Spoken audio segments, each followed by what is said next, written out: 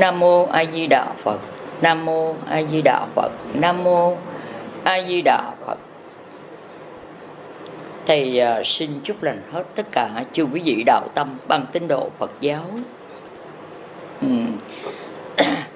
và tất cả các vị cư sĩ tại gia tu hành đều họp lại để chia sớt buồn vui cùng là trao đổi với bần sĩ một ít lời để chúng ta đồng ý nhau à, nếu có lọt vào tay trong và ngoài xa và gần thì nếu có à, một câu nói nào nó à, cũng không trọn vẹn vì bần sĩ còn ở dưới dũng bùng lầy. Và trên đường mà về phật đó đi về đó thì mới bước được có hai bước thôi. Mà trong hai bước đó lòng từ bi của các ngài đó thành ra muốn kéo vị sát bên lưng chứ không không không có phép mà đi về rồi mà kêu quý vị, thì ai ai người độ tận, ai người dịu dắt. Vì là đó cho nên hôm nay phải nói về vô thường, không biết bữa nào. Nói về trên đòi mạng cũng không biết bữa nào. Đang chờ đợi sẵn nếu còn trách nhiệm thì chúng tôi sẽ đáp ứng hết tất cả những lời nói. Mà lời nói này không phải chúng tôi đã bịa đặt ra mà có một cái cơ sở và có một cái động cơ thúc đẩy và một có cái hành tinh mới diễn biến ở trong cái con người của chúng tôi, đó là cái sắc phạm trượt này. Thì chúng tôi mới có thể thoát ra để nói chuyện với tất cả quý vị, chứ chúng có, không có phép pháp gì hết. Mà cũng không được đi lợi chùa để tu và để nghe giảng đạo hay là nghe tất cả các ngài các vị cao tăng trưởng đạo để thuyết thuyết minh đừng giải đáp bằng chân lý của Phật giáo như sau. Hay là của đạo Phật như sau. Thì kính xin tất cả chư quý vị cùng là anh em bậc tôn trưởng hay là chánh sự à, hay là à, anh em nào mà có chức sắc cùng là xin tự bi quan hỷ. Ờ, cho bần sĩ là một là một người quê dốt. Uhm, không có học một nghề mà tại sao bây giờ đã bừng lên để nói vậy thì cũng không biết rằng những ai cũng phải có ai đây. Mà ai đây thì tôi cũng không thấy được ai đây. Đó thì mà tâm từ bi muốn phát xuất từ đầu môi chất lưỡi để trao đổi với tất cả anh em của mình, từ xa tới gần. Nhưng tôi không biết làm sao để à, đưa tin này cho tất cả anh em.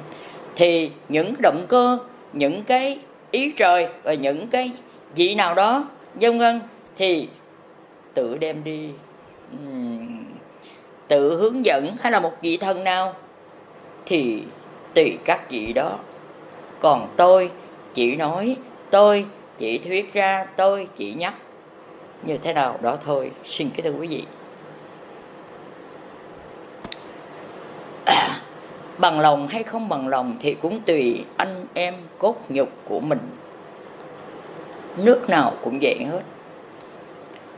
Nếu mình còn thương mình thì trong một phút chốc mình sẽ quay trở về với cuộc sống mới. Mình phải quay trở về với cuộc đời mới. Ừ. mình đã nhận sự việc mới để thay đổi gấp cho nó trùng lại à, nó phù hợp với thiên địa và phù hợp với võ trụ phù hợp với tất cả mới còn được tồn tại. Còn nếu bằng không thì chiếc tàu võ trụ của thượng đế nói chung là chiếc xe đó ngài đã cán mạnh mà mình tránh né không được thì mình đã gãy xương nát ra tro bụi ráng chịu. Đó là lực của trời đất. Thì hôm nay bần sĩ xin nhắc ngày xưa tuổi còn trẻ tiếng thao thao nhưng về nắm rõ việc à, chân lý cũng chưa đậm đà tha thiết quá. Và hôm nay lớn tuổi rồi nhưng phát xuất từng cái việc đời thượng đế đã thay đổi. Ừ. Và đức phật ngài đã cho biết danh sách chánh sách sổ sách mới hết không còn.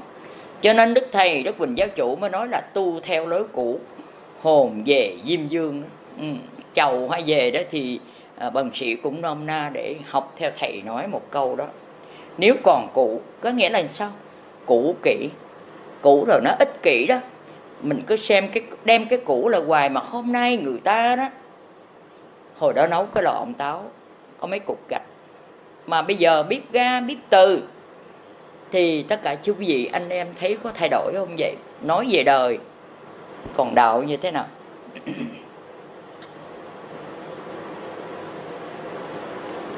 Chiếc xe đời cũ, chạy bằng ga, chạy bằng than lửa còn bây giờ thấy không? Quý vị. Thì quý vị đã có xe đời mới. Quý vị đã thấy rồi, nói về đời. Mới am tường đạo, nếu không có đời thì đạo không có được đâu. Nếu phật phật không đi tu thì làm sao mình có ánh đạo vàng, có những cái cái phép của phật mà để tu giải thoát? Không có, nhờ phật. Cũng như miếng ruộng mà phật đã đã gieo, phật đã trồng cấy, phật sẽ cho mình tất cả những cái hoa trái để mình gặt hái do cái công của phật. Thì bây giờ chúng ta không không có làm sao mà à, cho mất đi những cái à, di tích sở tích của phật và lời phật dạy. Nhưng thay vì mình cũng tuổi thân lắm khi đời mặt hạ này đó thì nó sẽ mất mát hết tất cả. Anh em nào cũng đầy đủ trí hết nhưng tại vì xuyên qua xuyên qua việc lo lắng làm ăn để chung sống gia đình. Nếu như vậy thì được rồi đó. Kính thưa chú quý vị, anh em của mình nhé. Mà còn đèo bồng thêm, muốn cái nhà cao, muốn cái cửa rộng, muốn xe hơi, muốn tài khoản thì nó sẽ cực khổ và nó sẽ mất mát đi. Ừ. khi mình muốn tính toán mà đèo bồng, mà ý nghĩ mình muốn sắm mua cái đó, có khi thức hoài không ngủ được. Có khi thua người ta là muốn điên cuồng nữa đó thì thấy mất mát hay không? Thực tế không đâu quý vị. Rồi, tu cư sĩ cũng đâu có phải nghỉ, đâu phải ngồi đó để xin ăn. Mình vẫn làm. Làm mướn, làm thuê, làm ruộng, làm vườn ờ, làm cây rừng. Ờ, xin cái thưa quý vị, hay là ờ, sĩ, nông, công, thương đều là tu được hết. Công ty cũng được vậy, thợ hồ, thợ mộc, cô biết chị đỡ cũng là tu vậy, thấy không? Đó vì lẽ đó cho nên hôm nay bần sĩ nôm na theo dấu vết của đức thầy đức quỳnh giáo chủ. Nhưng lời lẽ của đức quỳnh giáo chủ khác vì cũ ngày xưa nhưng cái bổn chánh của ngài đời đời kiếp kiếp lấy ra để dịch thêm ra. Ừ, đó. Cũng như có một cục bột đó thôi.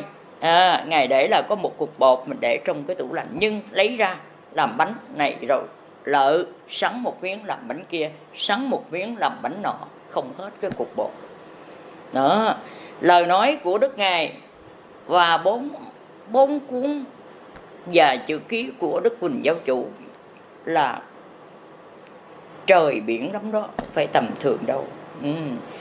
nói đây thì, nếu ai là người cư sĩ tại gia đạo phật giáo, không phải tôn ti đạo phật giáo của mình, hòa hảo mà chúng ta phải tôn ti, tôn trọng nhất là con người với nhau. Trong buổi này là buổi lâm chung. Chia ly, cách biệt. Nghèo, khó, bệnh tật, chia sức với nhau bằng sự tu. Chia sức với nhau bằng sự hy sinh.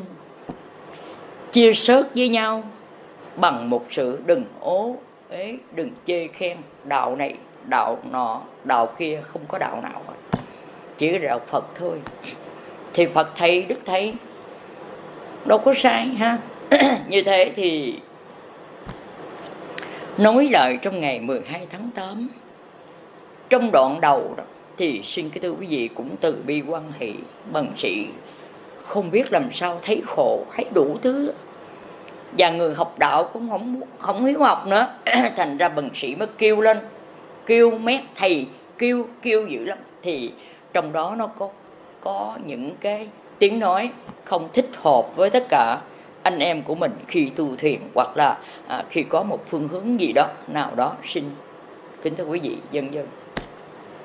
Từ bi. Rồi trong cái bài này nó kết thúc là quạnh hiu nhưng mà không phải là bần sĩ ở rừng hay ở núi hay ở gian gành của bể nào, ta đâu có nhà cửa đâu. Nay chỗ này, mai chỗ nọ mà. Nhưng mà quạnh hiu là quạnh hiu như thế nào? Hay là không có phật tử về đông? Không có chùa, không có đệ tử nói là quạnh hiu không phải vậy đâu. Mà bần sĩ đưa một cái lý thuyết và trong một cơ đạo ra quạnh hiu quý vị đó. Rồi ta rồi tất cả nhà nhà, con em mình tự nhiên dịch chết cả làng.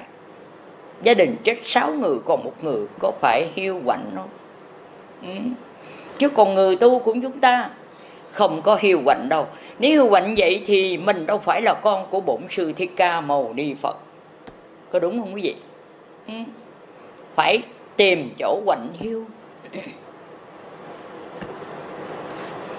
Để soạn ra sách vở bên trong của mình, để triệu tập tất cả những gì để đánh đổ hết, những những cái mà nó đã tích lũy, tích tồn, tích ở trong cái cái cái cái cái tòa lầu đài của bên trong của mình đó, cũng như tâm linh của mình đó ừ.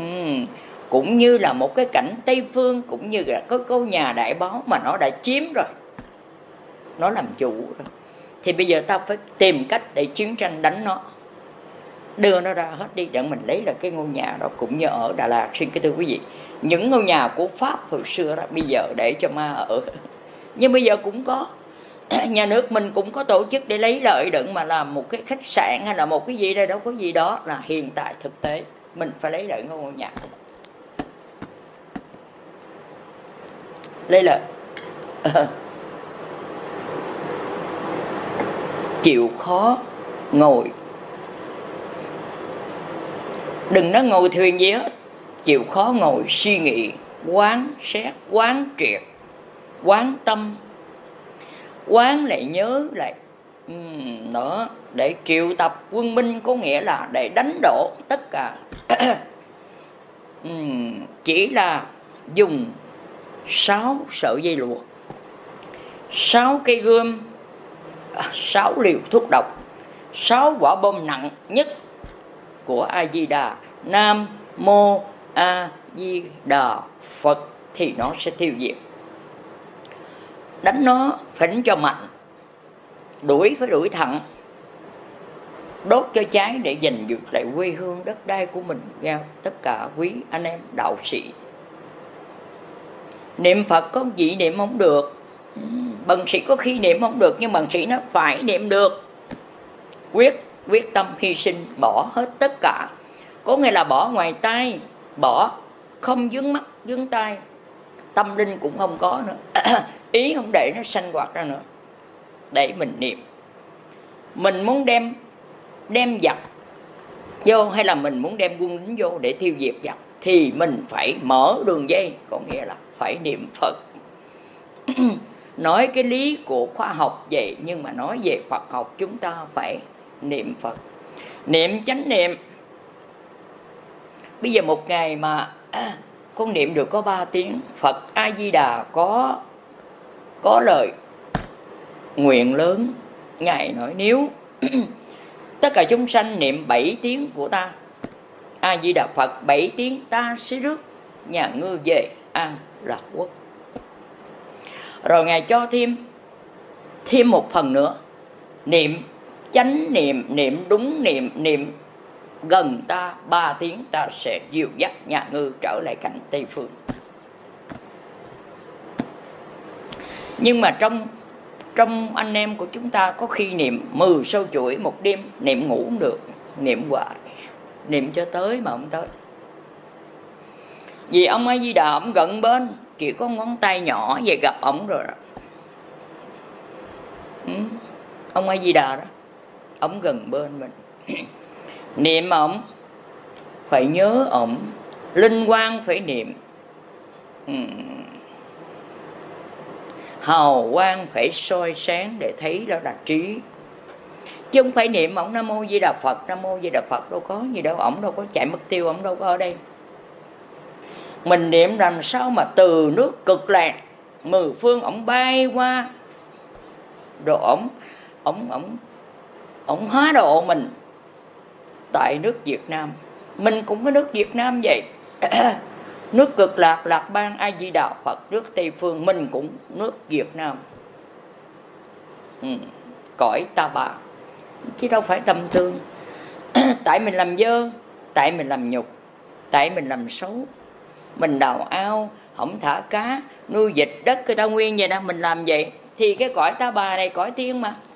Sau này quý vị sẽ thấy bồng lai tại thế. Nếu quý vị hàng phục được cái tâm của mình và niệm a di đà đừng quên niệm. Mà niệm phải triệt để tuyệt đối phải cắt đứt những cái mê muội những cái mê linh những đợi khen những danh lợi những ngạo mạn ta đây phải diệt bỏ. Đó là giặc thù đó quý vị. Còn mê muội là chủ ngục du minh đó, phải đánh tan. Nói như thế thì mình đâu có ở không. Mượn cảnh, xa cảnh. Ra cái lúa. Vừa tét lúa cầm xuống là mình niệm. Mà mình niệm như thế, niệm a di đà khi mình quên thôi, không niệm nữa. Chiều về niệm a di đà khuya thức dậy, niệm a di đà chứ không phải niệm hoài niệm hoài niệm hoài niệm hoài niệm hoài niệm hoài, không có vô được một vị trơn rồi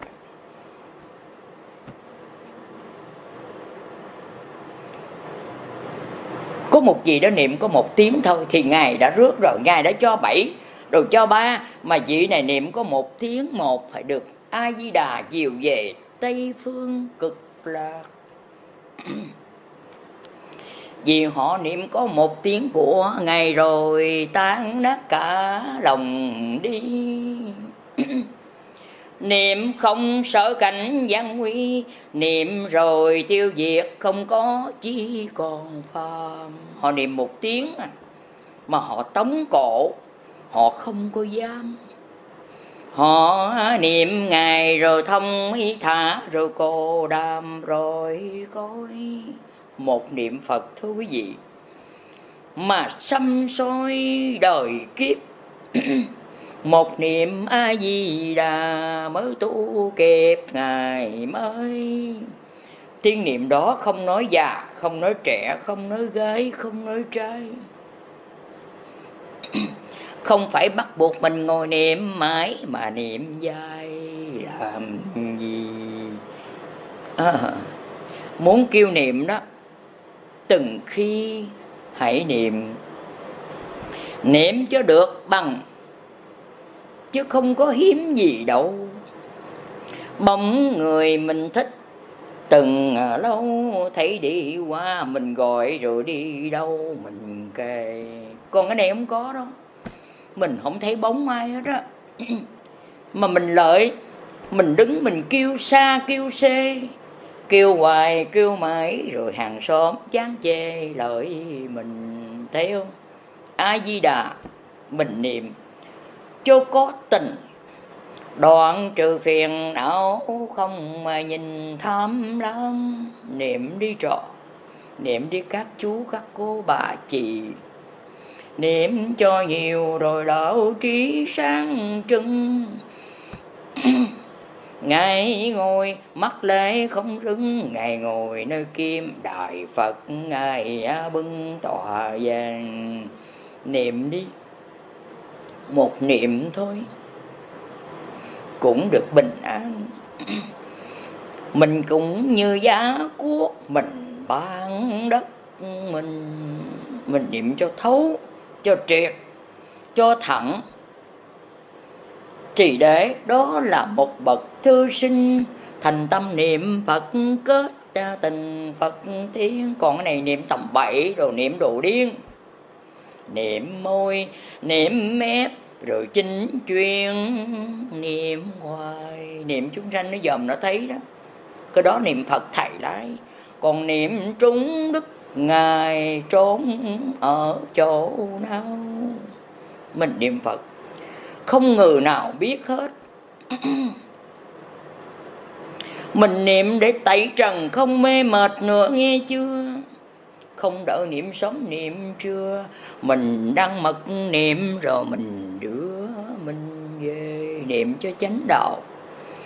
Cho đúng để hướng về quê để ngày chỉ giáo, rồi lời thề không xa, niệm danh sáu chữ di đà. Hồng danh ngày hứa, ngày rước ta về miền. Niệm đi đầu, niệm đi tất cả chúng sanh, cứ về nhà mà niệm. Đừng tin toán, nghe trò rồi mật niệm tâm linh. Niệm ngài đừng có cầu sinh linh quan, mình niệm rồi đức, tin mình, hành ráng mà niệm cho giáo đạo được lành. Cho bình minh trên quan ý đạo cho gặp gành hết trơn. Niệm cho tốt đi, mình đừng thua hơn ai nữa. Niệm a di đà là ngọn lửa đốt tan, đốt tự thanh lỗ thanh hán đột ừ, từ con rắn độc ở trong hang tâm mình. Niệm đi người, đừng có cầu xin gì nữa. Mình ví như sáu chữ di đà là ngọn lửa phất phơ. Đem mi vô tôi đốt bất ngờ đốt đi mong muốn rồi đợi chờ tham lam. Niệm để đốt cháy cho co đừng làm việc ác niệm đề rồi thành bồ tát ngày mới. Nhờ danh của hỡi đức ngài hồng danh phật độ ngày mai mình còn niệm cho tốt á. Nghe chúng con với ông bà cô bác. Mình niệm a di đà như cái cây cổ thụ bóng mát mình nương tối ngày mưa nắng gió sương nhờ cây cổ thụ trên đường chợ che ráng mà niệm đừng e é về gì nữa. Có quạnh hiếu nhiều bữa cũng rồi. Ai cũng phải đi cũng phải chết đó, đó. Cũng phải bỏ lại đấy thôi. Niệm để xét để quán rồi giác ngộ niệm phật đi không phải là đi xe hay đi bộ. Mình niệm cho nhiều rồi căn số được mình an. Niệm tụ, niệm tích đừng tan. Niệm rồi mình chớ thở, chớ than việc đời. Quan niệm phật đó thì đừng rời tiếng phật. Niệm để rồi ta thành bậc siêu màu. Chớ không phải bắt chước các người đồ niệm phật cho lâu. Ngồi mãi mãi mười sâu chuỗi hộp. Niệm một tiếng. Cái da người ta lột. Niệm một câu rồi mai mốt mình thành. Niệm đi con niệm đi đạo, cho trí cho lành. Cho khôn ngoan đạo để mình giành ngôi tiếng. Niệm đi từ dữ tới hiền, nhờ tiếng niệm phật không buồn riêng đâu trò. Niệm phật vô rồi đó, mình phải lo giải thoát. Chứ đừng có niệm a di đà rồi mình nói trời, tôi đau xót vô cùng mắc tội gì mà mình lại phát dự hung? Ráng mà niệm phật rồi tỳ tùng thay đổi tâm có niệm đó, không có cần mình ngoài phải sám hối. Thủ thị một mình trên đường lối rừng xưa một mình sớm nắng chiều mưa thân ta hiu quạnh bụi băng trưa chiều về. Không ngại đâu ta đã có lời thề thì chung như nhất rồi ta về không sao, dù cho quạnh quẹ hay bị bệnh đau. Đó là ta đền tội quá cao kiếp rồi. Nghe cho rõ đừng có niệm xa xôi không gặp phật. Niệm cho kề, cho bí mật đừng khai. Mình nắm cơ đạo của ngài, tiếng gian niệm phật trong ngoài làm chi? Tiếng niệm phật đó a di đà phật. Cũng như ta giác búa cây rừng, ta giết bậc dâm môn chặt đi cái thứ côn đồ, ẩn sâu tâm tánh mình cứ nam mô bên ngoài. Trở về đi tất cả anh chị gái trai. Mặc dù có hiếu quạnh đêm ngày không sao, vì mình tu rồi mà. Đã hiu quạnh rồi lại bệnh đau, đã nghèo, đã khổ không kể công lao đâu đời miễn ta niệm phật đừng rời một tiếng. Niệm a di đà là ngài đã thăm viếng ta rồi. Ngài nhìn ta, Ngài sắp cho ta được phạt hồi tiếng niệm Phật từ đại ngôi Ngài lâm xuống. Ngài biết ta niệm Ngài, ta đâu có ham muốn, hay là niệm danh Ngài rồi chiều chuộng thăm ô chỉ ta dùng tiếng nam mô a di đà phật. Con đắp tô son vàng, lại phật pháp hai hàng lý biệt. Con nói ra rồi, con phải viết một bài gửi ở trong rồi gửi ở ngoài. Anh với chị cùng em nên niệm phật. Niệm biến mất cái hư, cái tật.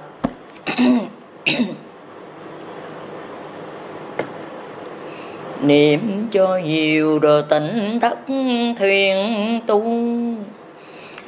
Ngày xưa không biết mình ngu, bây giờ hiu quạnh nhờ ta tu khôn rồi không sao hết. Đức thích ca bổn sư đó, có hiu quạnh không vậy chứ bỏ ngôi vua trở lại chưa rừng buồn. Sớm tới chiều đâu có mỏ đâu có chuông. Ngồi kim đau mà không lễ tuôn đạm chài. Tìm được đạo để cứu đời trai với gái cứu nhân à, quần qua bể ái về quê. Ngài đâu có ai cận kề, một mình nơi linh thú thủ nó không chê ngại rồi nhờ quay đức của phật ôi nhiều kiếp. Quỷ thần kia còn khép còn xa. Lũ thú cầm còn đi bẻ cánh hoa, hái cái trái để cúng thích ca phật tổ. Con nên nhớ thầy nay giác ngộ, thầy siêu màu, mơ chỉ rõ cho con. ráng tu sao sẽ đứa con con ơi, đừng quất dị lòng so làm gì. Lầu mấy cái cũng gian nguy rơi rớt, mà địa vị nhiều cũng hao hớt. Đâu còn, chỉ mình tu cho thân thể đừng mòn, đối với đất nước làm tròn trung liệt đối với gia đình mẹ cha mình biết, hiếu hạnh trên đời, náo nhiệt bi ai. Đối với vợ con phải chung thủy hằng ngày. Tình xã hội hay giấy mình phải nâng. Đó là câu nãy ta dặn. Dặn kỹ nghe trò để cố gắng anh theo. Thân mình nặng tở cái neo chìm ngâm dưới biển để theo chiếc thuyền. Ngài không nơi đó. Bần sĩ quạnh quẻ cô đơn, quạnh hiu ôi hỡi mấy miền. Ta đang hiu quạnh như tham thuyền đặng tu dục hiu quạnh, ta phá được cây ngu nhiều kiếp nhờ quạnh hiu ta mới kiếp kiếp trở về. Nhờ hiểu rồi mã đáo danh đề lên cương thẳng để trở về nơi tây phương cành. Nhờ quanh hiếu mà ta rỗi rành, để điểm đạo trong lòng, để biên cánh phạm phu người ơi, cố gắng mà tu. Bần nay hiu quạnh chốt, rừng thu không buồn. Giận vui mãi. Vì ta ta thấy cái tuồng đời giả quá. Ăn bữa nay rồi mai trả kia kìa. Giai làm chi cũng như chúng có phá không chìa mà tạo sự nghiệp rồi rẽ chia nơi lòng đất mình còn sống sợ còn sợ mất. Không giữ vẹn chung tình, không tỉnh thất thuyền tu. Ngày ngày không chịu công phu, có thân không chịu rửa để lo tu rồi thành. Cái tư tưởng đó tạo sự nghiệp rồi còn dành còn giật nữa chứ. Mà rồi niệm phật sao được nè? Còn đòi bực thấp cao. Phật đâu có sắc, có hoa màu. Di đà vua, chúa, ngày nào rõ không? Bỏ con giờ rồi, để thuyền rộng đi tu niệm. Đức a di đà đã kinh lệm ngày xưa. Đắc thân tối pháp đại thừa. Khi xưa là vua, chúa không vừa đâu dân ráng cố gắng đi. Niệm ngài như kim ngân đánh thức. Nếu mình niệm ngày hoài đó, cái nồng nực nó xa. Nó nghe tiếng niệm di đà quỷ yêu cũng chạy mà lụ ma không gần. Ráng niệm phật đi, đạo bậc đã nói rõ. Mình niệm ngày rồi, mình thương cây cỏ xum xê thương ai còn quá nặng nề, niệm a di đà phật mà tràn trề thói hư. Niệm phật phải phước dư đông hại, giúp đỡ người không ngờ báo lại cho mình. Niệm phật rồi phải trọn vẹn đức tinh đem phật lý để đăng trình gương màu. Này mình niệm phật đó. À, nó phật ở xa niệm không thấu. Chưa phật gần mình rồi mình tấu gì đây? A di đà phật giờ này con ngồi con niệm phúc về đức ngài. Con niệm phật con sẽ được lái về phật con niệm thầy, con sẽ đắc quả như thầy. Con niệm tiên, con trở lại nơi tiên. Con niệm thánh thì con phải hiền lành đắc đạo bài bốn nọ, giờ này ta vào. Chiết ra dịch từng lời cho người thảo người ngơi ai ai cũng muốn lâu đài, ai ai đâu muốn ăn mày phải hôn. Do nghiệp lực đó, mình tu thiếu nên mình đem cái chôn cái tốt. Mình làm không thành, mình cột nhốt mình rồi. Mình niệm a di đà mà mình niệm mãi nó trôi, còn có một tiếng mình ngồi thành phật thiệt. Nay bần sĩ chỉ cho người được biết, dù hiếu quanh tại rừng, nhưng ta đã diệt được tâm tăng. Dù cho nơi bái ta ma, hay ta thanh tịnh tại tha la, rừng buồn không sao đâu. Vì ta đã biết được cái tuồng tuồng đời giả dối mà, như gió luồng thổi đi. Tạo giàu tao có làm chi, rồi dai, rồi mượn từng khi ra rời. Đâu có ai được sống đời mấy mươi trăm năm tuổi. Rốt cuộc cũng về rồi mình lối trong gai bây giờ mình tỉnh không sai làm ơn tu niệm, rồi ngày mai thấy đời, tu để sống đi. Chưa có một ngày coi nha quý vị. Mình đã tỉnh giấc mộng rồi nè, không có ai kéo rỉ được đâu. Dĩ mình như thể con trâu tùng mây lướt gió, còn dâu bãi bùng. Rắn cố gắng đi đây sắp tới, sự lạ lùng sẽ biến diện. Tu cho biết chuyện trên đời đừng có cầu nguyện hoài hoài. Sửa xong còn mình có chia sớt, ai ai, hay là lòng ích kỷ mình muốn sống dai để tham nữa đêm thanh tịnh, bồ đề mở cửa. Bần sĩ không nhà rồi biết ờ, thừa nơi đâu.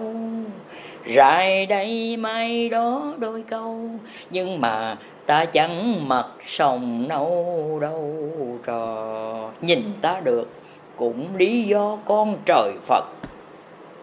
Nhìn được ta đó phải biến mất lòng phàm xuống kỳ này, không có nhảm tham quyết chỉ độ nhà lam an lạc quốc.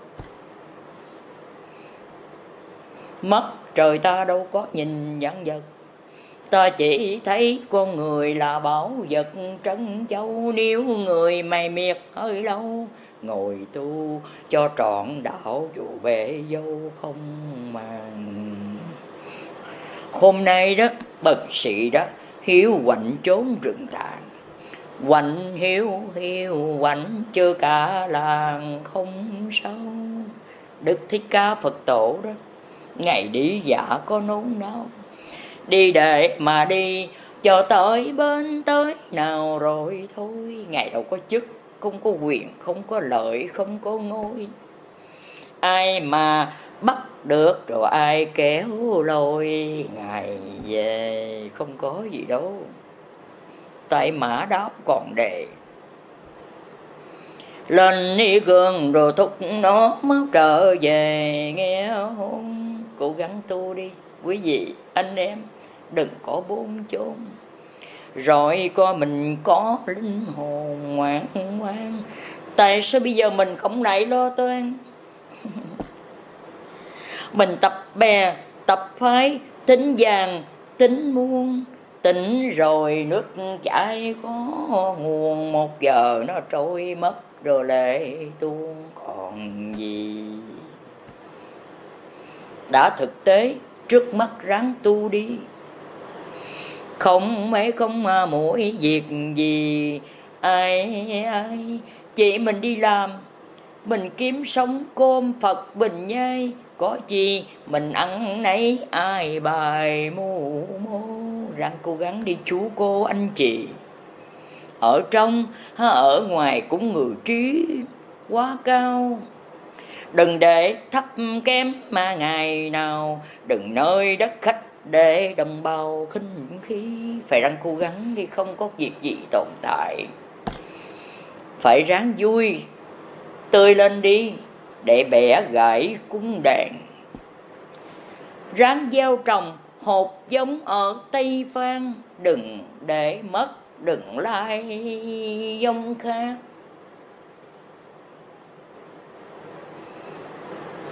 Anh chị thấy chưa, một vị thi hành bồ tát, đâu được yên lành, đăng giải thoát cứu dân. Ở xa hay lại ở gần, ở tận, ở tầng cư réo phật quan âm. Hãy reo kêu đó, thì bà tầm bà tới. Bà không có nệ hà, cái thế giới bùng nhơ. Tại sao mình tạc tượng thờ, mình không có giống hiện giờ bà đi? Phải giống bà ngôn thì khỏi gian nguy. Tâm lòng đại hải rồi tu trì không sao mình tu mà. Mình phải vượt cảnh bệnh đau phải nghèo phải khổ nha. Ừ, đâu có cao hơn người. Hạ mình rồi được vui tươi để giúp dần cứu chúng thành người thượng quân ráng đi không ta quạnh quẹ cô đơn không có sợ vì ta đã biết rằng ta không còn thiếu nợ bao lâu. Phật không có đài đâu, Vì lãnh lình đôi câu. Hạ phàm trượt để giải sầu cho ba tánh Làm sao đây? Nói gì đấy để cứu cảnh. Chỉ dịch lại thơ buồn thi phú mà thôi. Giang giang tiếng núi đó rồi, Xa gần cũng hiểu núi đồi cũng nghe.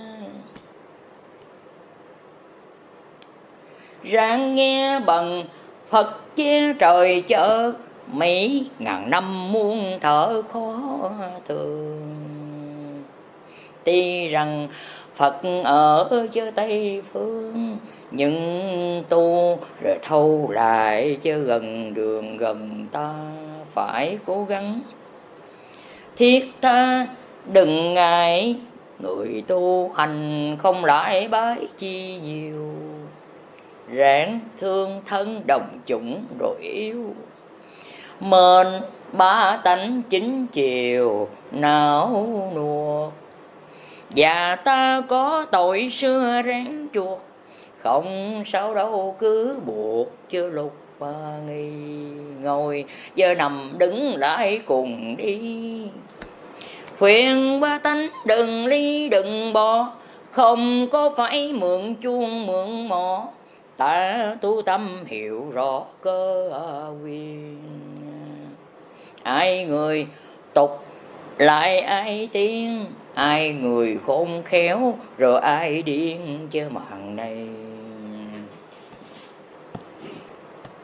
Bần cũng điên điên thầy, điên phật. Điện lo tu siêu bậc chớ pháp ở đời. Đừng nghe tiếng nói dơi dơi. Bị ma, mà ám ma bắt chớ điên thời rồi đổ ở ta. Điên của quỷ của ma là khác. Ta điên đây bồ tát dẫn đường điện mà giáo đạo nam phương, điện mà đưa rước chưa tận tường đò sáng. Điện biết ờ, được của vàng bỏ hết. Và điên gì không kết giới mà thấy, rồi ta lại đi xa. Vào rừng mà ta ở một mình ta an nhàn điện không có tập đàn, tập ba lô. Điên gì mà quê cổ muốn ờ, về à, điên này điên của chừng đề điên ông mà gì là cho điên ờ, thề không mở phơi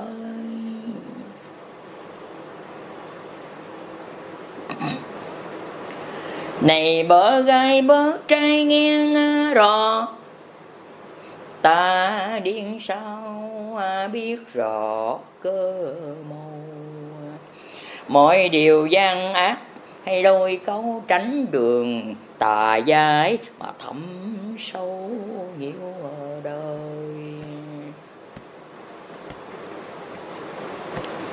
Tỉnh đi người người ơi ta nói, không phải ta thầy bói chưa kiếm tiền, hay là làm nào chưa làm ờ, phiền. Xuống nơi mà trận ờ, hạ chơ bơ ờ, thuyền sông bên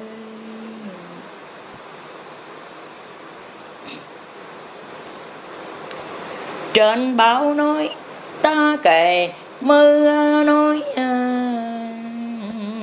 trên đã kêu tiếng gọi gian về chớ ta đâu phải chứ phật ừ, thầy ăn ờ, mài à, điên ờ, dại chứ canh ờ, chày nói ra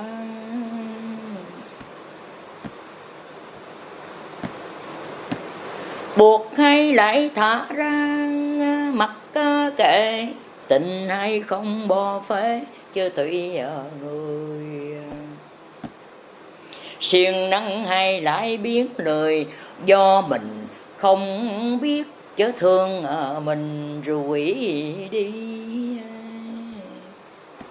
Còn thân ta không ly một chút, một tấc hơi hao hột không mang. Chỉ còn không có lầm than, theo chân của phật đưa trên đàn lúa đi.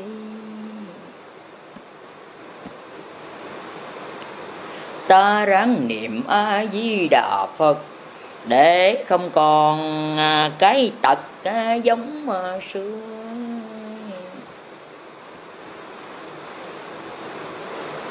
Nếu không có phật chứ không mà chưa chúng sanh mà lộng lấy rồi bãi à, bừa trời à, luôn.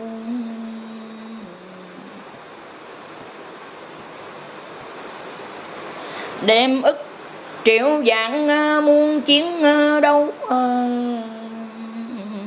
bành trướng ra thượng đế chưa thấy rồi.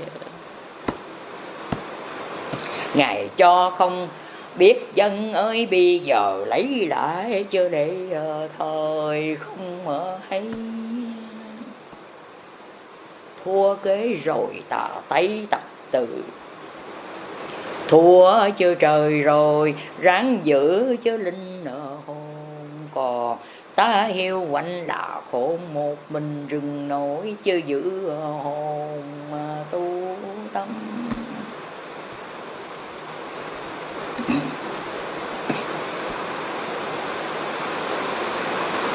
Người tu tốt như tầm trong ờ, kén ừ, đúng. Chưa ngày giờ rồi nhà chưa ra tới trả cho chủ hai chứ bây giờ giờ.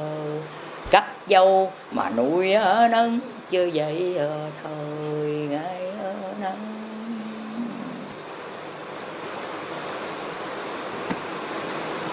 bần cảm ơn trần ai biết ờ, mây. Cho ta nhiều không ờ, thấy chưa đâu ở đâu. Cho ta lãnh lót đôi câu ngồi thiền niệm phật mà từng lâu tu hành. Cho ta thấy chưa việc lành, ứng chiến cho ta sinh rồi hiến cái thân mình.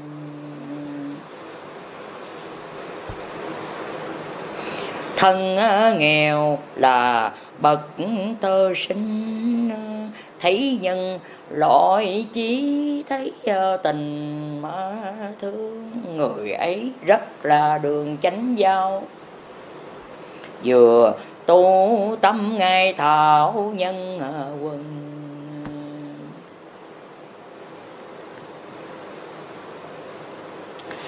không ngồi. Nói đạo chứ phe xứng đạo chưa có tượng, mà hưng chưa nổi ờ, gì.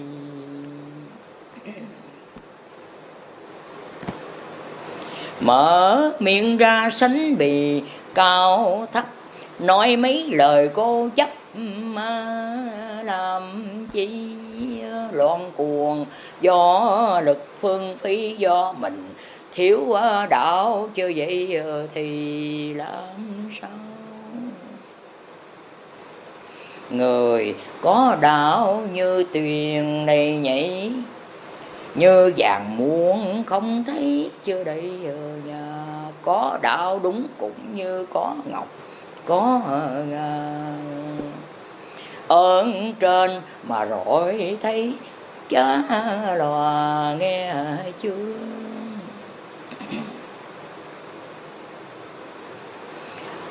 Rửa tấm gội đạo chưa thành tựu đạo của trời ờ, khỏi hú chưa khỏi ờ, mời.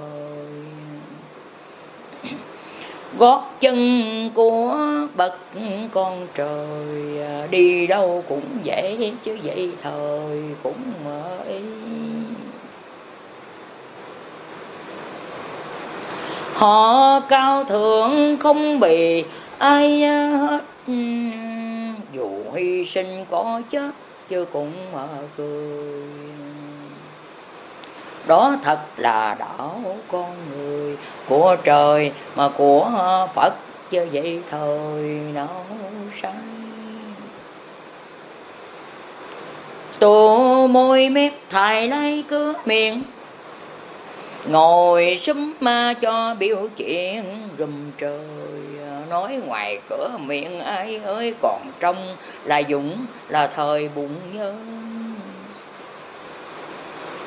Ai thương bằng trở về, tâm tâm để giờ ta cứu cánh, niết bàn đưa mình đến cảnh chơi tây phan tại mình phế bỏ. Rồi rõ ràng nghe chưa thôi tỉnh dậy sớm trưa, bần nói. Bần sợ đây, tiếng gọi không ai một, mình quạnh quẻ chua cay. Mẹ đang khóc hận cho con ở rài, chết quen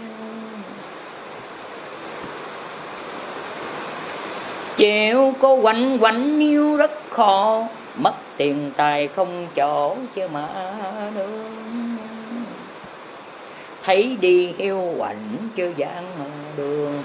Không mền mà không chiếu phở sương ở ngoài. Đã hiu quạnh còn cái, còn à, đắng à, ngóc đầu lên. Biết nhân chưa ai ở giờ công gian phẳng lặng, chứ như ờ, tờ gặp ba mùa mà trời diệt, chứ hiện ờ, giờ đất trung